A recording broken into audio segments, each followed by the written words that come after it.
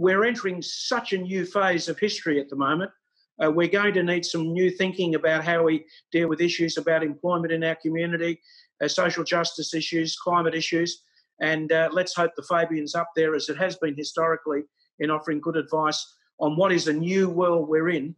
Uh, and uh, I fear that there's still a fair bit of complacency in Australia about what's going to happen as we move out of the uh, restrictions that we've seen with COVID.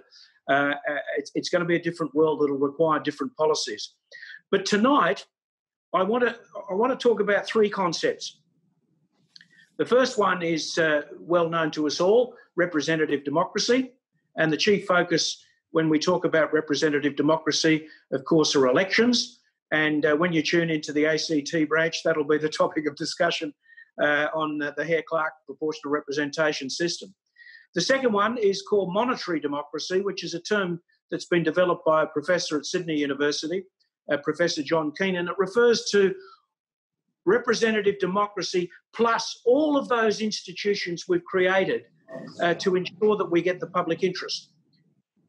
Auditor General, electoral commissions, corruption commissions, uh, information commissioner, privacy commissioner, with great independent powers in order to monitor the way that government operates. And they provide a check and a balance. So, elections, majority rule, backed up by monitoring, checks and balances to make sure that the public interest is protected. And when we talk about democracy, we usually focus on those two. Uh, we point to the, whether or not our elections are fair, whether they're free, whether they're subject to influences which are distorting uh, the public will. When it comes to uh, the checks and balances, we look at whether or not they're genuinely independent, whether or not they have the capacity uh, to speak truth to power, uh, as they need to do from time to time when the executive arm of government or or the political class in general deviate from, from the law or from the, uh, the public interest which backs up our legal system. I want to add another, and let's call that deliberative democracy to that equation. Is, this is a focus the focus here is on a new way of involving the people in the political process, a way that has a lot of history because it's used, of course, in criminal trials, the jury system. Uh, you, you, you, would know how that works. You randomly select a jury, uh, they look at all of the evidence, and then they make a judgment. And that's essentially what the philosophy of new democracy is. But I'll, I'll, I'll come back to that uh, a little bit later on. The argument I want to put to you tonight to consider is that we need to care a lot about our elections and our representative system.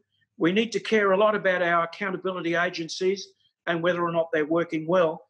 But there's more, more to that. We need to take seriously the potential for deliberative democracy uh, uh, to add value to our system of government. And so I'm trying to widen the debate out we normally talk about representation, we talk about checks and balances. Let's go one step further and look at deliberative democracy and ask the question how can we use that to improve our system uh, in terms of its democratic quality? Now, as, as, Natalie said, I'm the chairman of the New Democracy Foundation um, Research Committee. The New Democracy Foundation is independent, it's a non for profit, it focuses solely on our democratic system and, and, the ways and means by which we can improve it.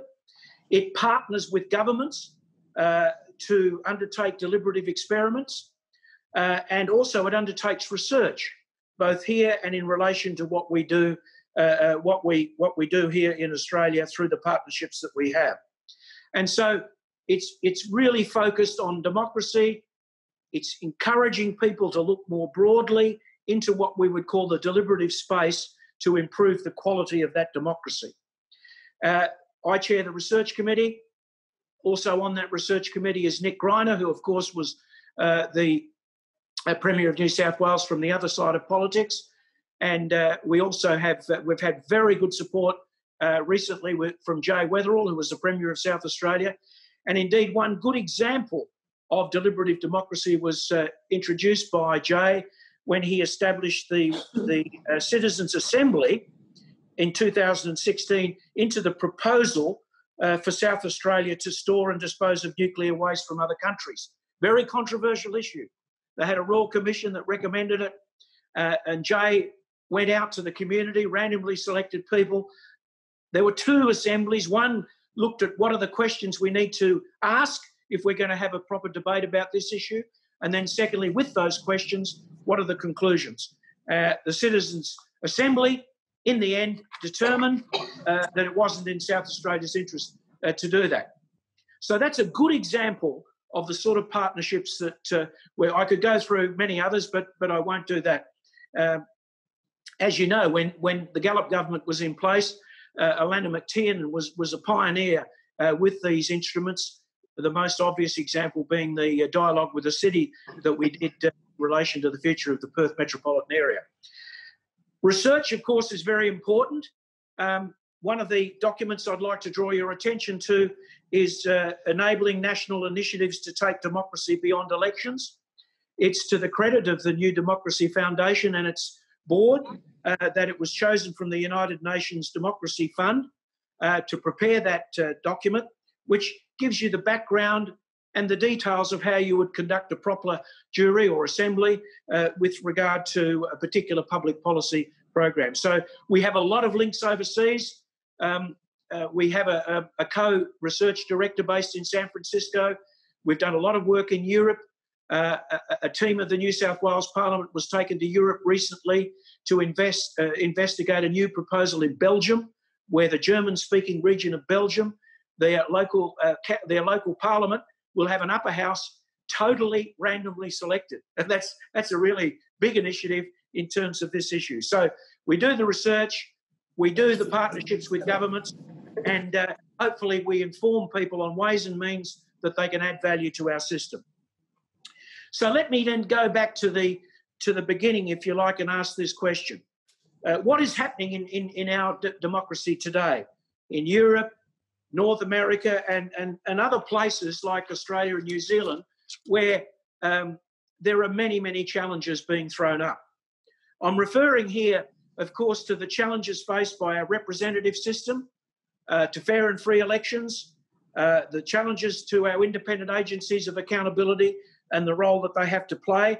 Uh, and there's a lot that we can say about, about those issues. For example, at the national level, we don't have a corruption commission. Um, indeed, if I can just point out that when I first became involved in politics back in the late 1960s, early 1970s, the great reform arm of Australian government was, was Canberra. And of course, it came to a, a, a, a, crescendo when the Whitlam government was elected in 1972. And the federal government was, was doing all of the improvements on accountability, and the states tended to be quite corrupt as a result of their electoral systems, as a result of their inadequacy, inadequacies of their checks and balances. But now, I think I'd argue that the state governments have done a lot more to improve on accountability, and, and it's shown by way of the corruption issue, where the federal government just simply uh, and Parliament hasn't dealt with that issue, uh, and uh, one can can see bits and pieces coming out now about how that's influencing politics. The contempt with which uh, the current government is handling some of these issues uh, about the expenditure of public money, the contempt about uh, the letter that was sent to uh, Clover Moore. These sorts of things, you, you, know, at a state level, you just couldn't get away with that. I think we would have inquiries in place, recommendations uh, uh, put forward, which would would make uh, much more accountability than we have. So there's all those issues, but but let's let's let's look at two parts of of of that. The first is the influence of money invested interests in politics, and we tend to look at that issue in terms of uh, backroom deals, you know, donations. And the Labor Party's been putting forward some very uh, good ideas on how that can improve uh, in, in, terms of the way our system works. But ask yourself this question. Perhaps we also need to look at the way policy is made to address the question of influence on politics. Uh, you know, it, it's one thing to try and reduce the power of money uh, on the political party through direct legislation and regulation. Another way of looking at that question is to say, well, perhaps the way that we're making policy is allowing that to happen. In other words, policy that comes through the executive, goes to the parliament, the major players, heavily influenced by vested interests, and the outcomes you get are not satisfactory for the public interest. Perhaps we need another way of looking at some of these policies uh, through random selection and deliberation that would counter the influence of, of, of money because uh, uh, uh, the independence and, and the rigour with which a lot of ju- juries operate and, and assemblies operate would, would be a real counterbalance to the influence of money. Another one, of course, is the, the development of distrust between government and people. Now, a degree of distrust is necessary. I mean, in a good democracy, you've got to keep an open mind. You have to make sure that you keep uh, uh, those that are in executive positions. Uh, you have to keep watching over what they do, etc. That's an important part of our system.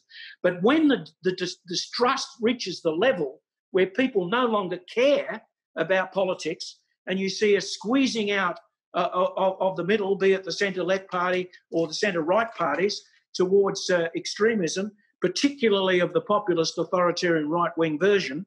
Uh, and it's all fed by this oh, you can't trust the politicians, they don't care about us. This is a very dangerous development. And I don't think I need to uh, outline to you how that's playing out in, in the United States currently. So I think those of us that are interested in, in social democracy, interested in improving our democratic system, uh, I, I, think we need to pick up on, on, on these problems that exist. Another one, of course, is, is the difficulty we're having in Australia, in any case, uh, and, and certainly throughout the democratic world, and this is becoming the source of criticism from those who don't like the democratic system, is the big issues are getting insufficient attention. The big issues are obviously the amazing uh, uh, slide into increased inequality in countries uh, such as ours, a dramatic development, uh, and it's illustrated very clearly uh, in, in the work that's been done on alternative progress indicators, work that Jacinda Ardern has taken up in New Zealand. And if you go to her budget papers and you look at her analysis of the rate of economic growth determined, uh, uh, defined by the uh, gross domestic product, and, and the rate of improvement in progress in New Zealand, as outlined through a broader range of measures, level of inequality, uh, environmental amenity, you know, et cetera, et cetera. There's a gap between the two. And, and what happened, I think, is into the 70s and 80s, the GDP and the progress indicator tended to go to, at the same level. After that, there's a gap emerge. Uh, the progress indicator uh, doesn't, uh, sorry, the gross domestic product is running ahead much far faster than the um, indicator of progress. And th- this tells us a ma- there's a major issue in our society that the levels of inequality that we thought were totally unacceptable in the in in the post-war era, uh, as we came out of the war, there was a lot more social solidarity, uh, are now drifting away again, and that's a big issue. Labor tried to address it to some extent at the last election when it spoke on the franking credits issue. You know, we, we can argue about that whether it was good policy or not, and the negative gearing, but at least they were trying to sort of gear the system back into looking at how we can have a fairer share of the burdens and benefits associated with life today. So these big issues aren't being addressed. Climate, I mean, the Four Corners program recently showed that our system stalemated. You had Turnbull, Rudd, Brown, and they couldn't come up with an emissions trading system. Something was deeply wrong with our system and, uh, and the politicisation of it to the extent that we couldn't solve a major issue that's facing humanity, and that's climate change. Julia Gillard came in with a good uh, policy in cooperation with the Greens, uh, but unfortunately, her authority was never sufficient to carry that with the with the electorate. The jury's still out on whether or not COVID nineteen has been successfully tackled. You know, we've we've done pretty well so far, although I notice the figures are going up again, uh, as as, as spiking again. But the real stress and strains associated with coming out of the COVID regulations uh, is going to be a major challenge to government. Will we have the capacity to do it? Uh, I would urge you all to go to the, the website, look up Ireland, have a look at the agreement that's been entered into between the two major parties, the traditional enemies of Irish politics, and then in alliance with the Greens, they've come up with a national plan and a lot of the a lot of the material in there deals with environmental uh, and social justice issues. But you know, we're not in a position at this stage to do that. Uh, we we simply our big issues aren't being addressed. The other issue, of course, which I mentioned earlier, was that the distrust that we have and the attacks on science and the attacks on expertise are, are really uh, uh, drifting now in, in some jurisdictions into attacks on our independent agencies of accountability. Uh, in Eastern Europe, particularly in Hungary and Poland, uh, you've seen it, of course, uh, in in, in uh, countries like the Philippines, and recently in, in, Cambodia. You've got it in Brazil, and of course in the United States as well. The attacks on the independent agencies of accountability, and and we need to we need to get some trust back into the system so that these important components are treated seriously uh, because of the role they play in making sure we get a public interest outcome from government. So, where do citizens, juries, and assemblies uh, come into this? Let's define them first of all. Big definition starts with random selection, uh, usually stratified to make sure you get a representation of your broader community uh, in what we would call a mini public. A, a, a, mini public that is much smaller than the wider community, but is representative of that community. And uh, it's what we do, of course, when we we we, we try to uh, when we conduct criminal trials through the jury. The second feature of uh, of, a, of, a, deliberative assembly uh, is that the discussion between the people involved is properly facilitated, so that there's everyone gets their their point of view across. Uh, we make sure that um, the questions that the people think are important, that information is gained uh, to take to the jury, so they have all the information on the table and, and then they can make a, a proper judgment. So it's these two issues that you have proper representation and you have proper deliberation. There is a third element that does add a lot of value. It's a tricky one because some governments find it very confronting. But to really make an assembly or a jury work well, you have to guarantee that the decision they make will become the law or will become the policy. Now, as soon as you say that to a government, they, oh no, no, no, no, we can't do that. We can't hand over our power, uh, uh, our making of power uh, to another body like that. Uh, there are there are there are there are ways you can still defend uh, assemblies and juries uh, and and and the deliberations that they have by saying they they add extra advice to the government, and without necessarily determining what the government would do.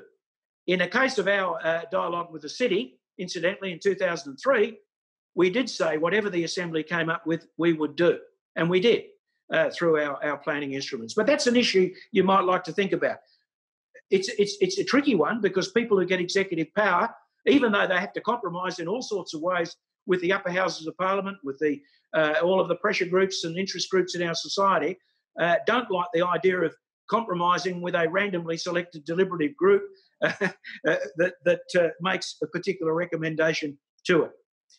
Just a quick point here if you're interested in the history of this idea, of course, goes back to ancient Greece uh, and was a very prominent part of decision making processes, and then revived in Renaissance Italy uh, and uh, the late uh, the 13th, 5th, 14th, 15th century. in some of the city states, we saw the application of this principle. Not to cover everything, but to cover some parts of the way that their government was to work. So it's not as if this is just a modern concept. It goes back to Greece, goes back to, uh, to uh, Florence and, uh, and, and Venice. Uh, indeed, at the time of the, of the great Machiavelli, uh, um, Florence did have a form of uh, deliberative democracy operating. When might you use such a principle? Well, you might take a local issue. Those of you that would remember WA politics, we had that unbelievably conflicted issue of where the town hall of Albany would go when the town of Albany and the Shire of Albany got together. Both of them said, oh, well, you know, the Shire uh, uh and the town is going to be based in either in Albany or, or out of Albany. They just wouldn't get agreement. Alannah MacTiernan set up a citizens' jury and they agreed that whatever the jury said, uh, they'd agree with, and indeed that problem was solved. You could you could take all sorts of little issues that need some sort of resolution because the system can't seem to find a way through. Uh, uh the system ought to, by the way, but, it, but the fact of the matter is it doesn't always find a way through. You might get the challenges of new technology. Uh, artificial intelligence, for example, well, the, the, questions that's posing. Do we actually know what a what what a, what a, an ordinary group of people think about that? Do do we know what they, they thought about the question of uh, genetically modified crops. That was one where they had a major inquiry in some of the European countries to try to determine what the common view was. So, new technologies coming on. Uh, the Scandinavians have always been pretty good at having processes of community consultation on that, not necessarily juries or assemblies, but certainly a consultation to deal with those issues. Uh, then you've got major society wide issues, such as a city plan, a constitution. And the best case study we have here, of course, is from Ireland, where, as you would be aware, uh, they had uh, two major crises. They had a crisis of their church, and you know the Catholic Church and the abuse undermined the uh, trust of a, of a, lot of the Irish people. And secondly, they had a crisis of their economy, uh, and and uh, uh, there was a lot of soul searching going on.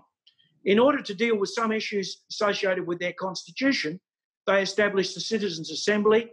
Sixty-six people were randomly selected uh, throughout stratified uh, selection process throughout Ireland, and 33 politicians representing the parties got together and looked at their constitution and made recommendations. The uh, Constitution of Ireland originally formed around a, a Catholic philosophy uh, of the family, and uh, as you know, uh, the recommendation came through for establishing equality uh, between uh, people and no discrimination on the basis of gender, including the capacity to marry, which went through on the recommendation of the uh, of the citizens' assembly. It had to be voted on by referendum, but it was. So they used it in that way. Uh, they're now in their new agreement between the two parties uh, and the Greens. There are some assemblies in there to deal with complex issues. Um, one, how they elect uh, their local government in Dublin. They're going to have an assembly. One over biodiversity issues.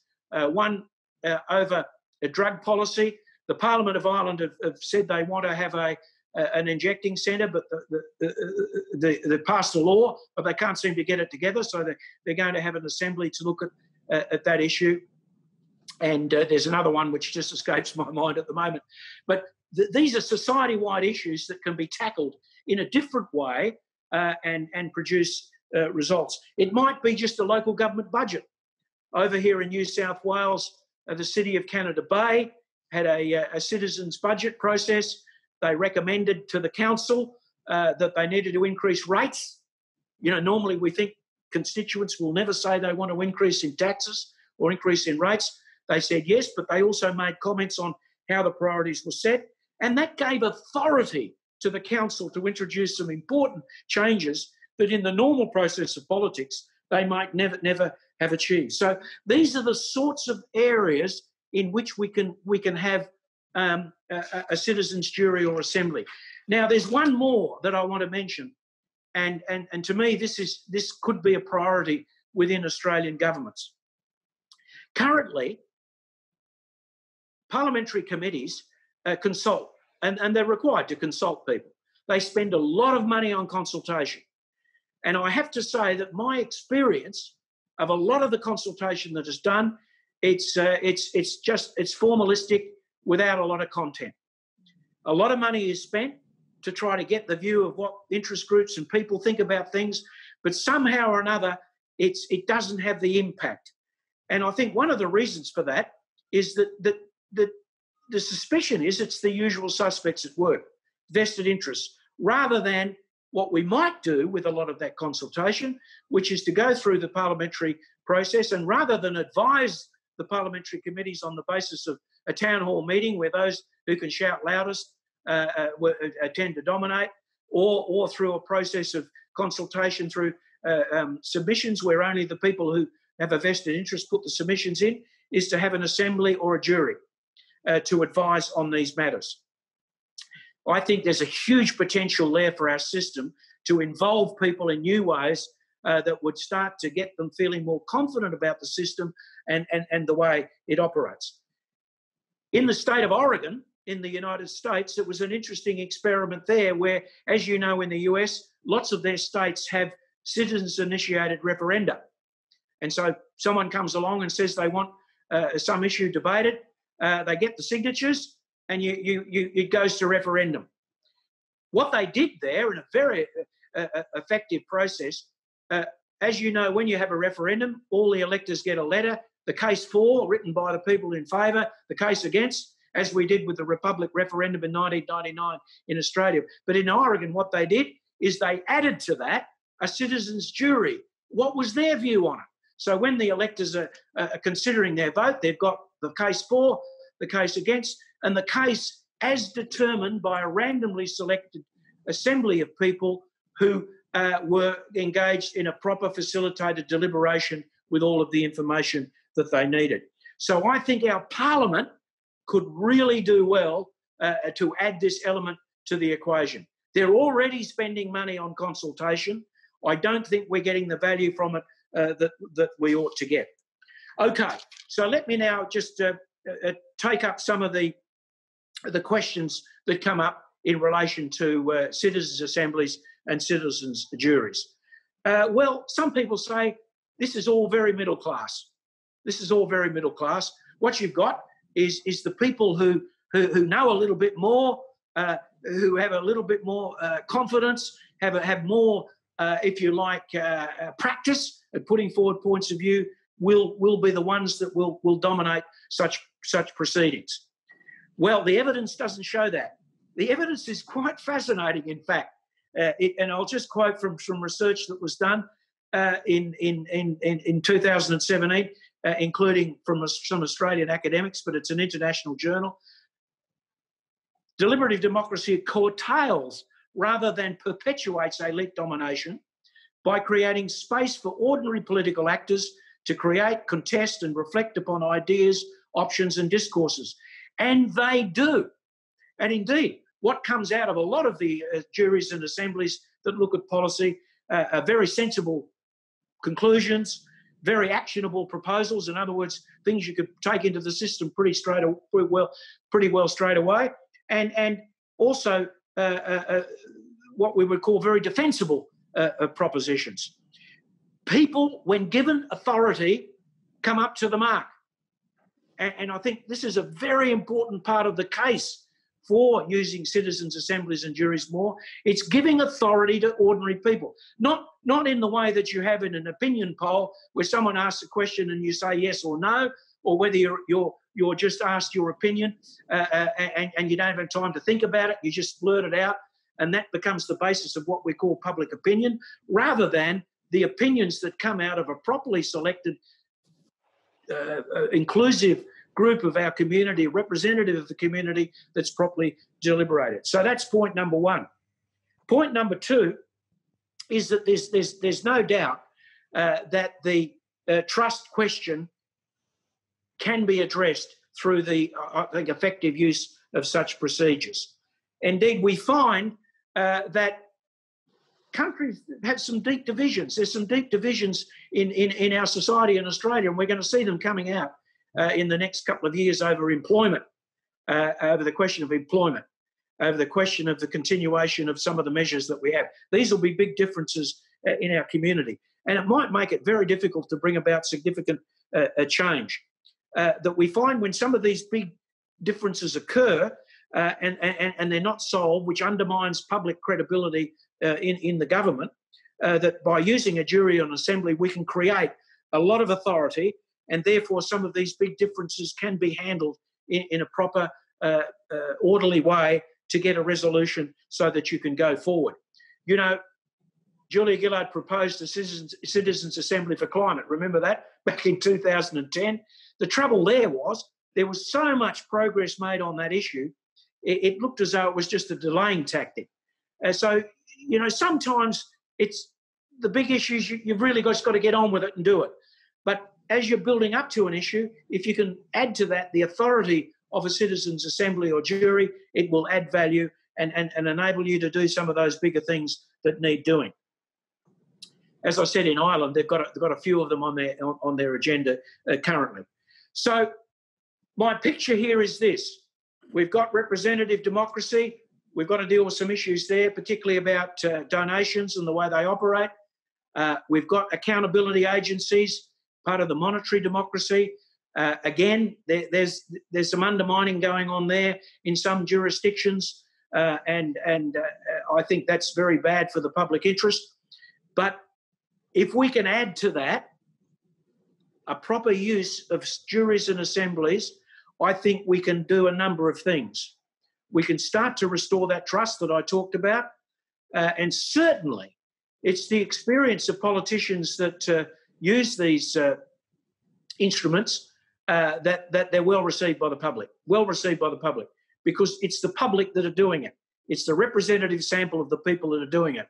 And, and, and so trust can be built. Secondly, I mean, as I pointed out, you've got some intractable issues, either local ones or big national issues that just simply are not getting the attention they deserve or the authority. And people find it so much easier to go to the political game. Oh, it's your fault. No, it's your fault. And you get that sort of politicisation, which, when it comes to some big questions, is understandable. I mean, those of us on the left of centre side have a different view of the economy than those on it with a right of centre view. But at some point, you've got to get away through those differences and, and, and take it forward. And if you take it forward without authority, you might have a, a success, but then it's overturned by a change of government. Uh, you know, we've got to be in the business of institutionalising uh, uh, uh, uh the climate. Uh, sorry, we, of institutionalizing, institutionalizing some of those mechanisms we need to lower the emissions and to create a better world for our children and our grandchildren. And without authority, that's not going to be possible. Thirdly, and, and linked to the, the other two, is we really have to address this question of right wing populism. It, it is, it is, it is. You can see how it's operating in the United States. You see how it's operating in some parts of Eastern Europe, and even, of course, it came up throughout the Brexit campaign in, in the United Kingdom. Um, it, it's it's not a good thing, and I, and I declare on this one uh, that I think uh, uh, we really do have to have expertise. We do have to have science. We do have to have evidence. It's not always as easy as the scientists think. It's not always as easy as the public policy uh, people think, but you do need to have it. And, and one of the features we had in Australia in recent years was that the state premiers and the prime minister did take on board evidence when it came to looking at how we're going to tackle uh, this, the, the, possible spread of the coronavirus and also how we're going to set up our uh, hospitals and whatever to deal if there was a, a major outbreak. The governments did look to evidence, and it is important. And the fact that we have a whole movement now around the world that says evidence doesn't matter, it's my opinion that matters, and it doesn't matter what the evidence is for or against, it's my opinion. Therefore, uh, I have every right to pursue it. And, and, that attitude is really undermining, I think, uh, good government. So, for those three reasons, I think uh, we, we ought to be using this uh, system a lot more uh, within our within our polity uh, to solve major issues, to build up trust, and to try to fight against this cancer of authoritarian populism. Thanks very much. Thanks, Stu. Thank you.